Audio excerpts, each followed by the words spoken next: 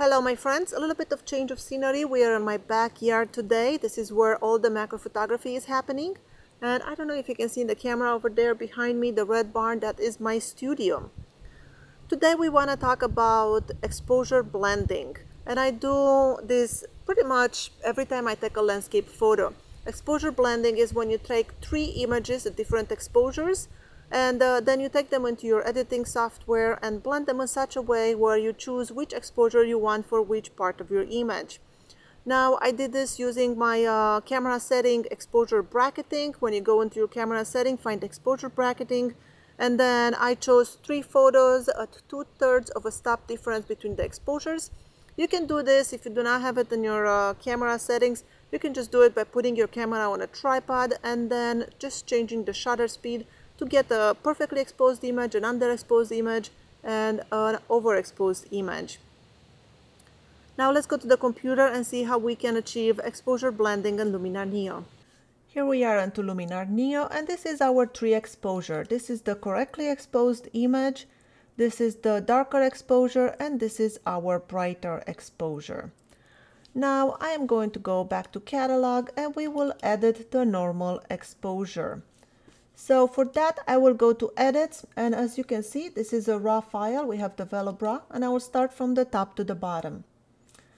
First thing I want to do is to add a little bit of smart contrast. Maybe I'll take down the highlights just a tiny little bit and open the shadows a little bit. Something like that. The next thing I would like to do is to shift the color temperature to a warmer tone. So I'll go with something around 55, um, 55,000 Kelvin, uh, something like that looks better. So I think that's all I will do here. Maybe increase the vibrance. We'll, we'll add plus 16 for vibrance. And that's it for develop. Next thing I want to do is work with color. So I will go to color. And here I will start with the hue. I want to turn some of this uh, seaweed oranges, more a little bit more orange, more warmer tones. They have a little bit too much green to it. So I will turn the yellows a little bit more towards orange, the orange a little bit more towards red, something like that looks better to me. Next, I want to go into the saturation and I want to desaturate the blues into the sky and the water because I feel like they're a little bit too saturated and that's from me using a polarizer. So I will go with something like that. But I do want to increase saturation into the yellows and oranges because the seaweed is, in my opinion, the thing that really attracts my eye in there. So we'll go to something like that. Next, we'll move into luminance. And the first thing I want to do is take the luminance down on the sky and the water. That's going to make it uh, on the blue. That was going to make it more dramatic, something like that. And then I will increase the luminance into the seaweed and, you know, we'll do the oranges and the yellows will increase the luminance. And something like that looks good to me. What else do I want to do? I will get out of the color and maybe we'll go into landscape. Into the landscape adjustments, I will add some golden hour that will further enhance our golden tones. Something like that. And I will add a little bit of foliage enhancer. Don't go too far. If you go to 100, uh, you end up with these neon greens. So just a little bit goes a long way. Something like that. And that is looking great. What else can we do? I will get out of landscape and this time I will go into erase and make sure I do a remove dust spots just in case there are some dust spots that are hiding there and I cannot see them and that should take care of that. Great, our dust spots are removed and now I will close my erase tool and I will go back into catalog and this time, well first of all let's look at our edited image. This is our before, this is the after, before and after. I think we improved it by a lot. So now we can go to catalog and we have our edited image and I would right click on it, go to adjustments and copy adjustments.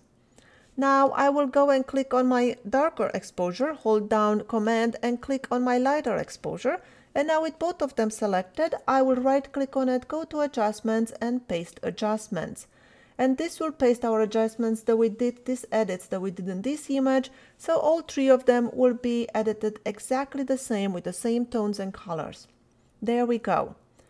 Now with these two still selected, I do want to export them into my uh, desktop because later I want to import them back as layers into Luminar Neo.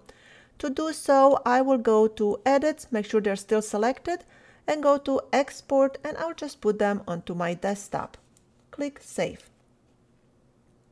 And now with our images exported onto our desktop, we can go back to the original image that we edited and go to Edit. And now it's time to bring in those two images into our layers. To do so, go to your layer and load image. Click on it. I will choose the darker exposure and click open. Now the darker exposure shows up onto my images and double click on it to open it as a layer into Luminar Neo. Now here is our darker exposure this is a 50%. You can increase it at 100%. We'll keep it at 100% just for now. And I want to mask this just in the sky and the water because I want to darken those a little bit. So to do so, I will go to masking and I will, let's see how Mask AI does, if it recognizes the sky or the water. Let's see, this is the sky and it's not a perfect mask. It misses a lot around the trees and also around the horizon. So I'm not going to use that. Click again on it to deselect and let's see how we did with the water. The water is not bad, so I will keep that selection. So then I'll go back to masking and I will choose a brush and I will just paint with my brush on the sky just to add to that selection. I will go a little bit into the island just so it's not very, uh, so it's a better transition, something like that. Maybe more over here.